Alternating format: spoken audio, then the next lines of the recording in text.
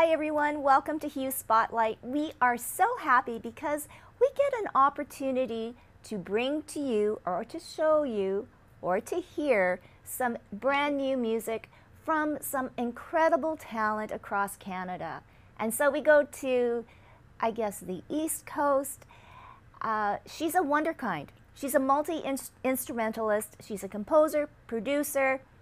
She writes, and I think she's actually getting into singing too. She's a TikTok sensation. Well, you would think that she'd be a seasoned musician. No, she's just a teenager, 18, whatever. Anyways, we are so happy to have Mary Frances Leahy on Hue Spotlight. Welcome, Mary Frances. I mean, I have to say it because girl, you are amazing. But you get you hear that so often. Um, but I'm pretty sure you're grounded too as well. well, thank you for having me. I'm happy to be here. Uh, anyways, okay, debut album, First Light, uh, yeah. an amazing uh, album. I'm curious, your passion for Latin music. Okay, you play the fiddle, you play mm-hmm. piano, mm-hmm. you have all that Celtic background, but the Latin yeah. music, how did that come into your life? I have no idea. My so I have no reason to have heard or experienced Latin music. And three, two or three years ago, probably three now, in COVID during the pandemic, my brother was playing a Marc Anthony pop song, but it was like had kind of that salsa crossover. And so it was more um, understandable for me because it had the pop element. And I was like, oh my goodness. And it became my favorite song. And I got into Marc Anthony. And then I got into his more traditional stuff. And then I got into like Latin extreme world. And I just love it. Literally, like getting ready for this interview, I had it on in the in the bathroom, like doing my hair. So I don't know why I love it or I mean, I, it's amazing music, but I don't know why it speaks to me so much or why I resonate with it because it's nowhere in my heritage that I know of. But yeah, it's cool. Well, and speaking of heritage, you come to music, I guess, through family with two famous parents, Natalie McMaster and Donnell Leahy. Uh, you've been performing since you were a little girl. Yeah. So, where you are now, uh, Mary Frances, did you ever think that this would be your life? No. Um, obviously, I always thought music would be a part of my life, but not my life, if that makes sense. And I think I I think it was expected of me to have like a career or I thought it was expected of me not by my parents but of other people. So I never I thought I was going to be a teacher up until like a couple years ago. And then when I heard Latin music and I started writing, I felt like I had something different to say that wasn't like a repeat. And then you choose it for yourself and and it becomes more of a passion, um, I think. So no, I did not intend on this, but here we are. uh, so do you find it hard though to carve your own persona, your own stamp on music, or is it easy? Um, elements of it are easy. What I like and when I write music, it's very much for myself. It's very much like, well, this is what I like, and I hope other people like it, but if they don't, it's still what I like, you know, kind of thing.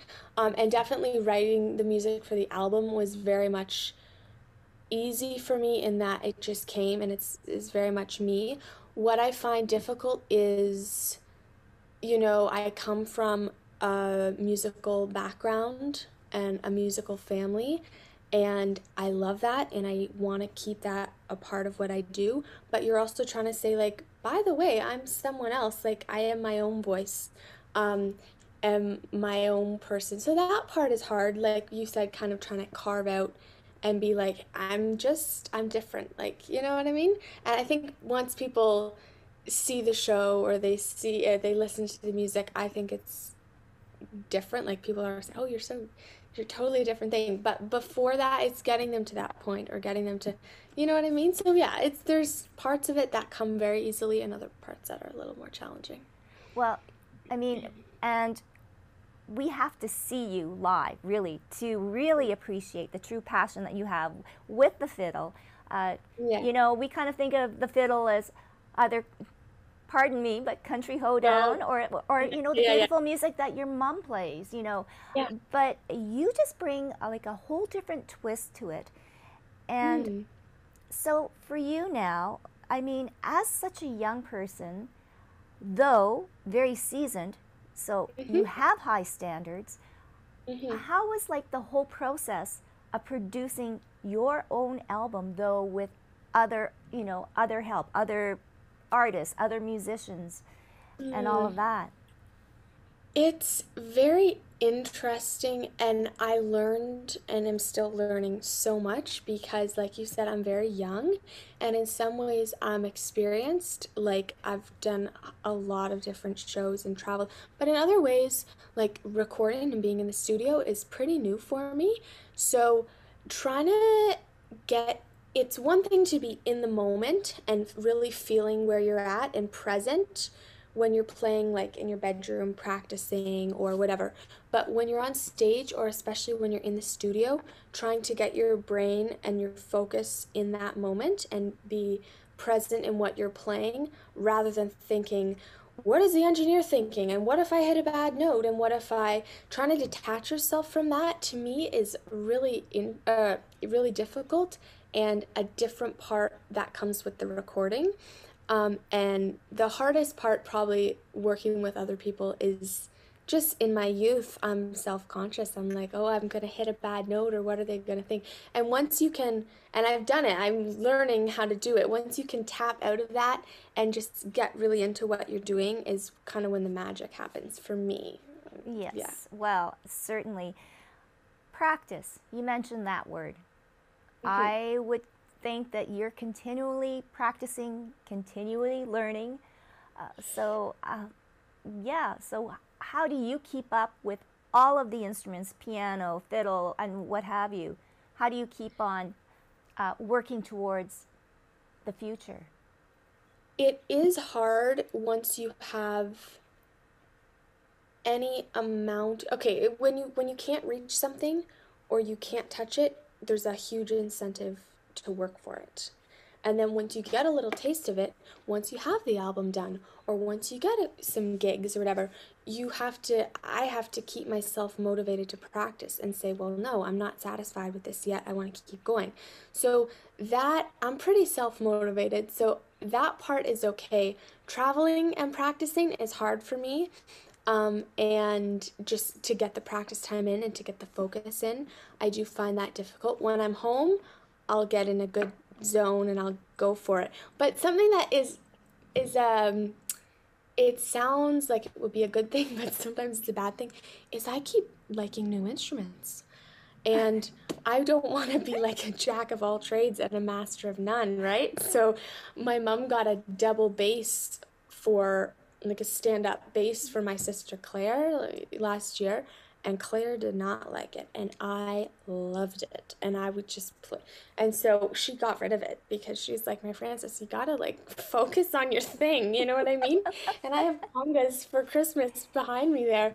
I got congas, and I'm just in here like trying to learn how to play the congas, and I'm like, I need to focus on my yeah, we need to. I want to get really good at a few things. So, th my trouble is like spreading myself too thin and loving too many things, which I guess is not a huge problem. But yeah, Well, you could have you could be a one man or one woman band. See, yeah, there you go. could.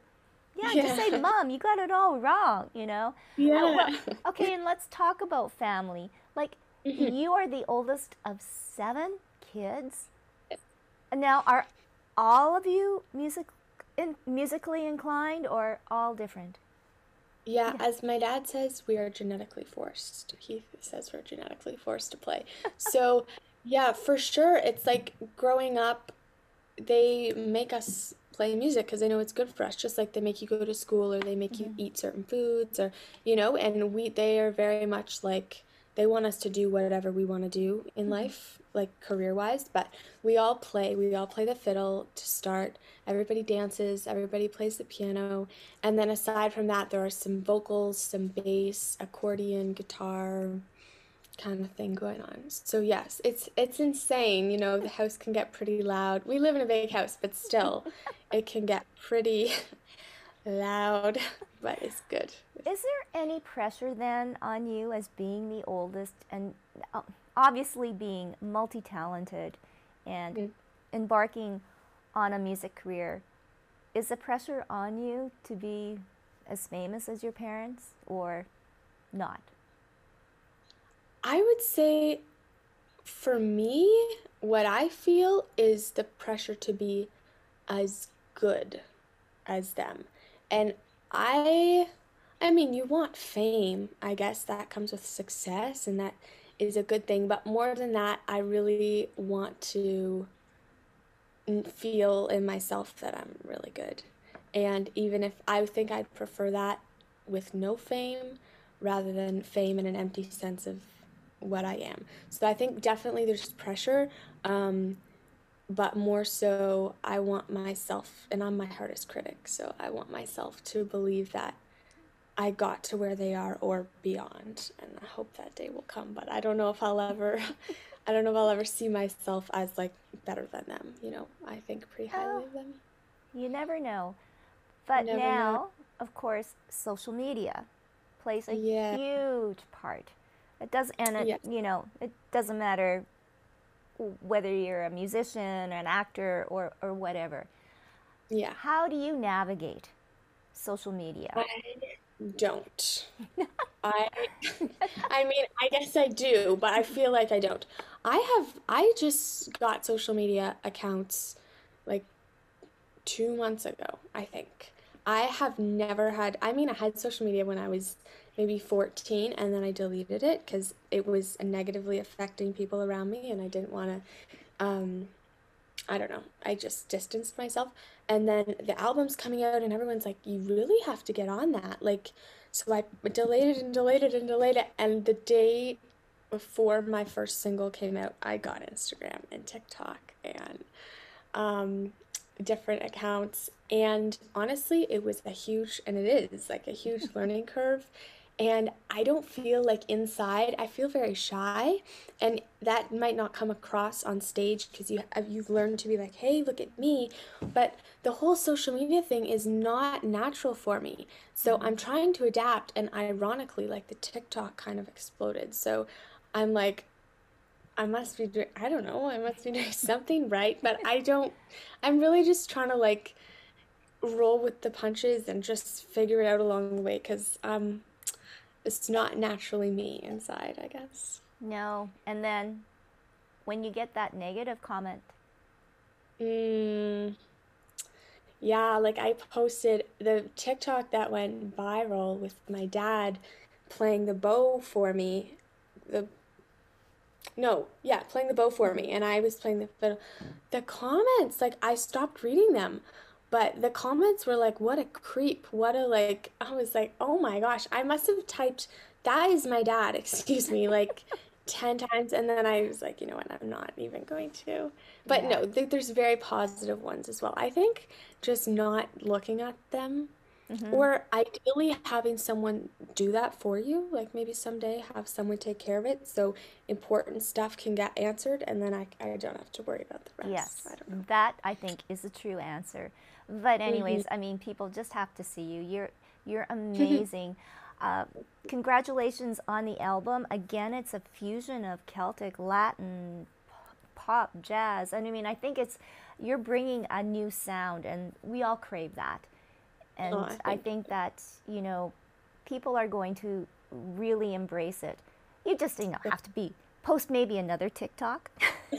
yeah. no, it's definitely a, a great tool. And yes. I've gotten a little taste like using it correctly is just amazing. And it's something that they didn't have in the music industry years ago, you know, when my mom and dad were starting. So I'm going to try and use it to my advantage. Yes. And you'll have plenty to do. You are mm-hmm. embarking mm-hmm. on an incredible tour, which is, you know, coming up in like in a couple of weeks, and Yeah. you are you're gone. So, I mean, Yeah. stay healthy, you know, but en- you. enjoy. I think that's this is going to be like an, an amazing experience for you, and you know, I'm your first taste of Mary Frances Leahy, right? Mhm. Yeah. Yeah. I'm very excited. Oh, we're so happy for you, and you are going to play us something, aren't you? Just to I show am. you, just to show people a taste of your talent. Okay. Okay. Um, I'm going to play a piece called The Banks that my dad plays. Um, it's a Scottish traditional piece, but he plays it in a not the traditional way. So let me take, I don't know, he's the only one I've heard it play it like this. I'm going to take my ring off um, and turn my sound on. You give me a little nod if this is. This okay? Good.